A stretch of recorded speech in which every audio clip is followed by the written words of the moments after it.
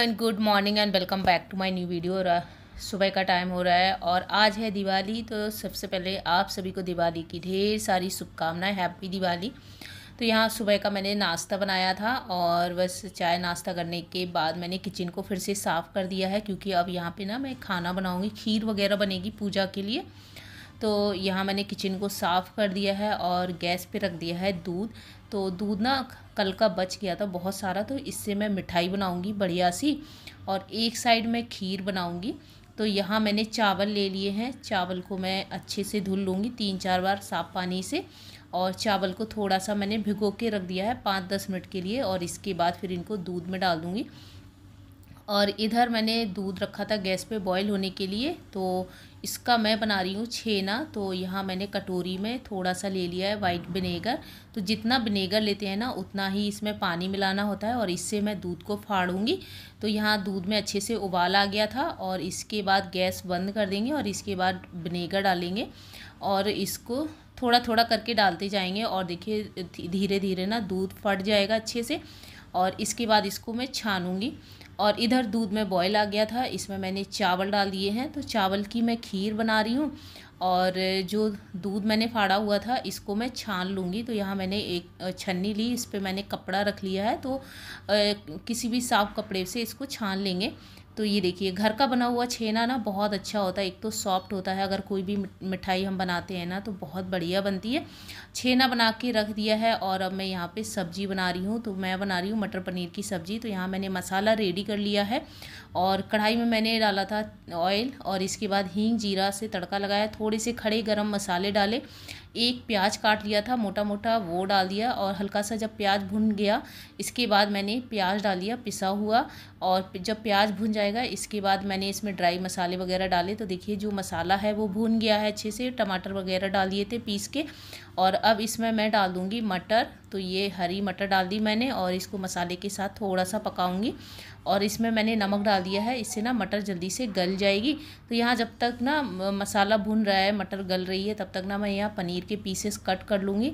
तो मैं यहाँ एक ही सब्ज़ी बना रही हूँ, मटर पनीर की बढ़िया सी और ना खाना फिर ना बहुत ज़्यादा हो जाता है तो इसीलिए एक ही सब्ज़ी बनाती हूँ। तो ये देखिए जो पनीर है, इसके मैंने पीसेस कट कर लिए, इसके बाद पनीर को मैंने डाल दिया है सब्ज़ी में, मसाले में डाल दिया, अच्छे से मिक्स करेंगे और इसमें मैंने थोड़ा सा पानी ऐड किया और इसके बाद इसको पकने के लिए छोड़ देंगे। तो यहाँ जब तक ना गैस पर सब्ज़ी बन रही है, तब तक ना मैं बर्तन धुल दूँगी तो ये ना थोड़े थोड़े करके बर्तन धुलती जाती हूँ, क्योंकि ना फिर बहुत ज़्यादा बर्तन इकट्ठे हो जाएँगे। तो ना बीच बीच में जैसे टाइम मिलता जाता है ना, साथ के साथ मैं बर्तन भी धुलती जाती हूँ, इससे ना काम जल्दी हो जाता है और ज़्यादा काम बढ़ता नहीं है। तो यहाँ पे ना मैं एक ही सब्ज़ी बना रही हूँ क्योंकि एक तो काम जल्दी हो जाता है और खाना भी ज़्यादा वेस्ट नहीं होता है। तो यहाँ सारे बर्तन धुल लिए और इसके बाद देखिए सब्ज़ी बन के तैयार हो गई है। हरा धनिया मैंने काट लिया था, ऊपर से डाल दिया हरा धनिया और सब्ज़ी रेडी है और इसके बाद मैंने आटा लगाया और अब जल्दी से पूड़ियाँ सेक लेंगे। तो पूजा के लिए मैंने छोटी छोटी सी पूड़ियाँ बना ली थी और इसके बाद मैंने बाकी पूड़ियाँ बना दी हैं।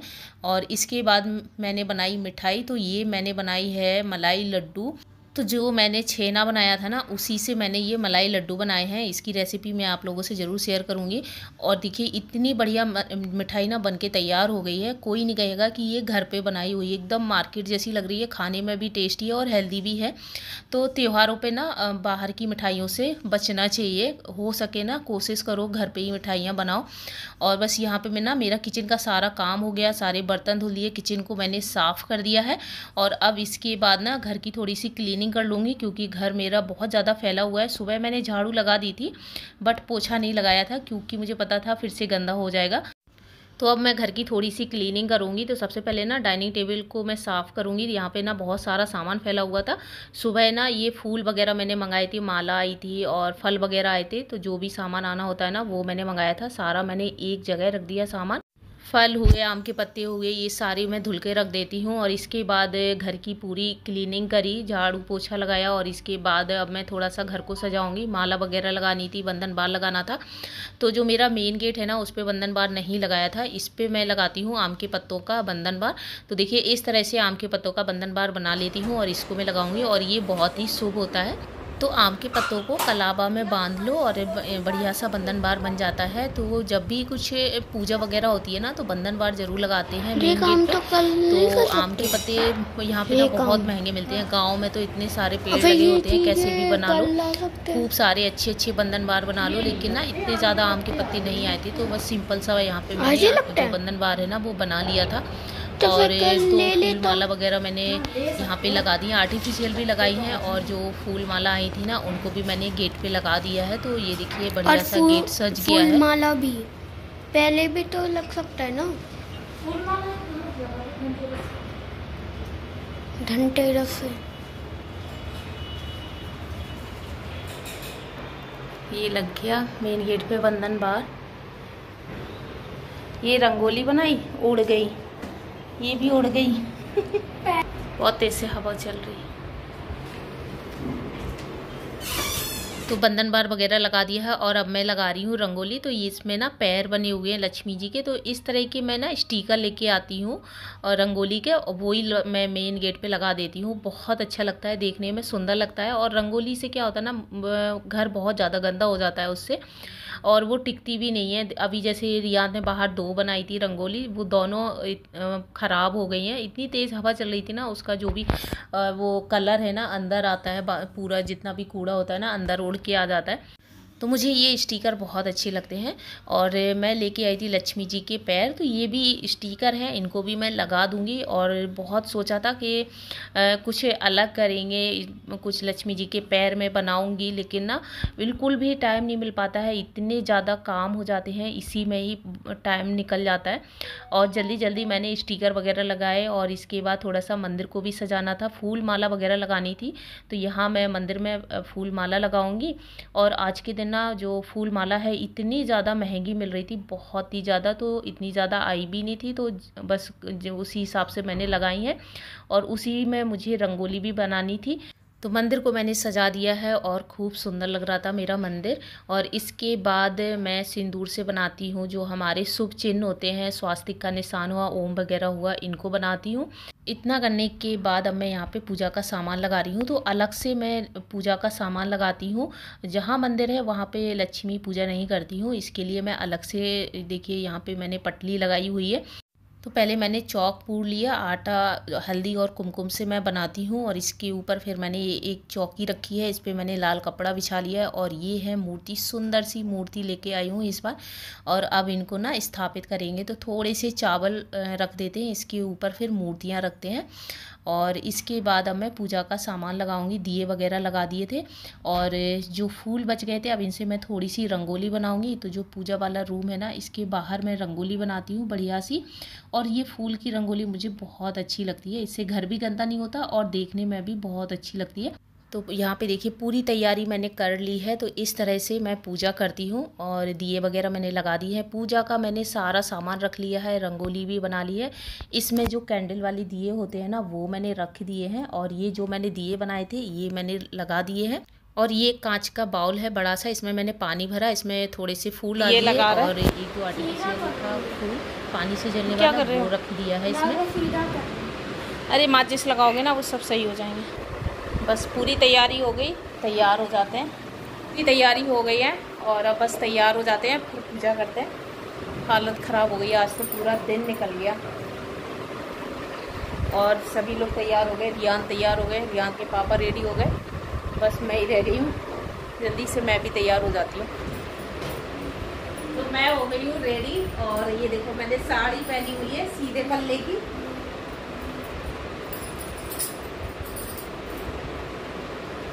ये पूजा का टाइम हो गया है, पूजा कर लेते हैं।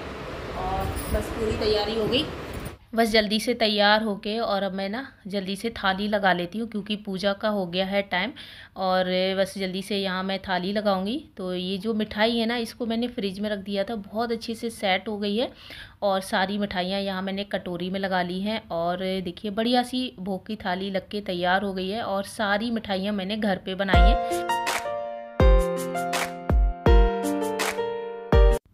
देखिए कितनी सुंदर लग रही है थाली तो खूब सारी चीज़ें बन गई थी और ये जो बूंदी के लड्डू हैं, ये मैंने मार्केट से मंगाए हुए थे। बाकी सारी मिठाइयाँ मैंने घर पे बनाई हुई हैं और अभी हो गया है पूजा का टाइम और जल्दी से मैंने पूजा की और अब मैं जल्दी से पूरे घर में दिए लगा देती हूँ।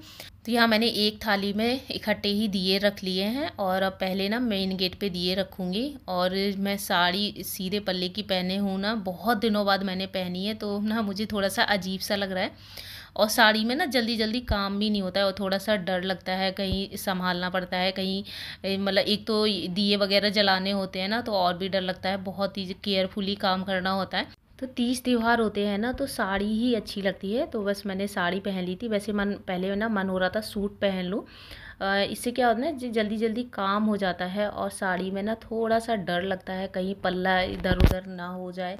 एक तो दिए वगैरह लगाने होते हैं तो बस यहाँ जो दिए हैं, वो पूरे घर में रख दिए हैं और इसके बाद मैं बालकनी पे रख दूँगी। और नीचे ना बहुत फटाके चल रहे थे, बहुत तेज़ से शोर आ रहा था और अभी ना कीड़े भी बहुत ज़्यादा आ रहे हैं बालकनी पे। जल्दी से मैंने दिए लगाए और इसके बाद ना अंदर भी कैंडल जलानी थी।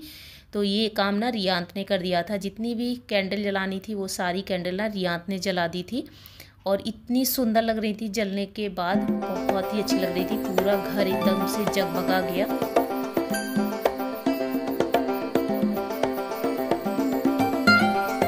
तो पूजा हो गई है और खाना पीना भी हमारा हो गया है। और अब हम लोग जा रहे हैं नीचे फटाके चलाने। बहुत देर से रियान वेट कर रहा है फटाके का। तो बस अब देखो, ये देखो, फटाके लेके जा रहा है नीचे। चलो चलते हैं। तो यहाँ पे कैंडल जल रही हैं। बहुत फटाके चल रहे हैं बाहर। और इतना कीड़ा आ रहा है, देखो, बहुत ज़्यादा कीड़ा आ रहा है। ये देखो कितना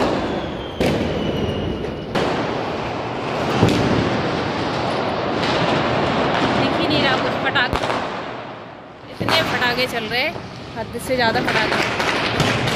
बहुत तेज फटाके चल रहे हैं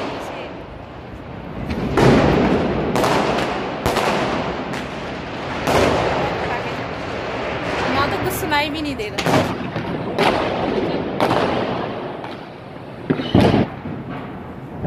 ये देखो, पटाखे लेके घूम रहा है।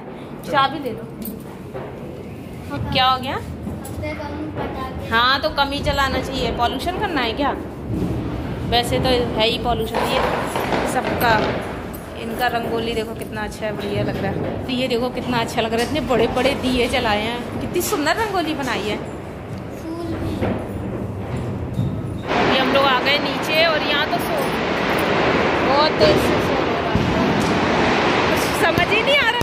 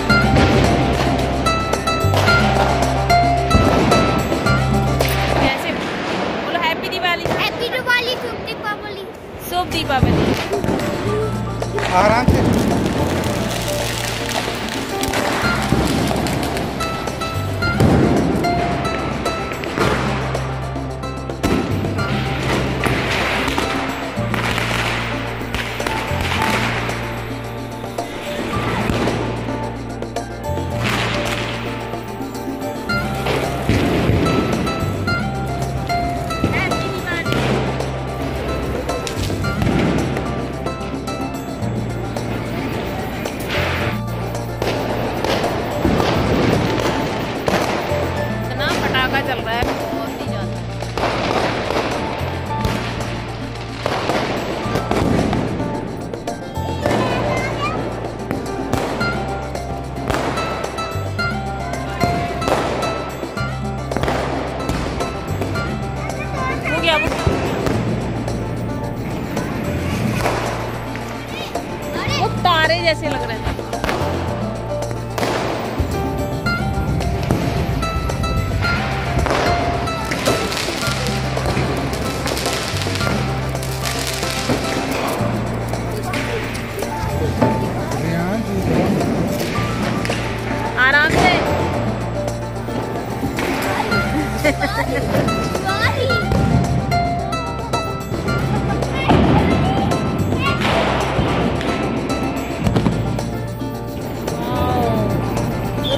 बज रहे हैं और अभी भी पटाखे चल रहे हैं।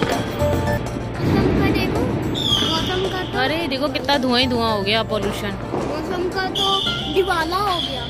देखो नीचे चल रहे हैं अभी प्यू प्यू बोल रहे हैं। तो ये रहा मेरा दीपावली का ब्लॉग खूब अच्छे से हमने दिवाली मनाई और खूब पटाखे चलाए बढ़िया बढ़िया सी मिठाई खाई।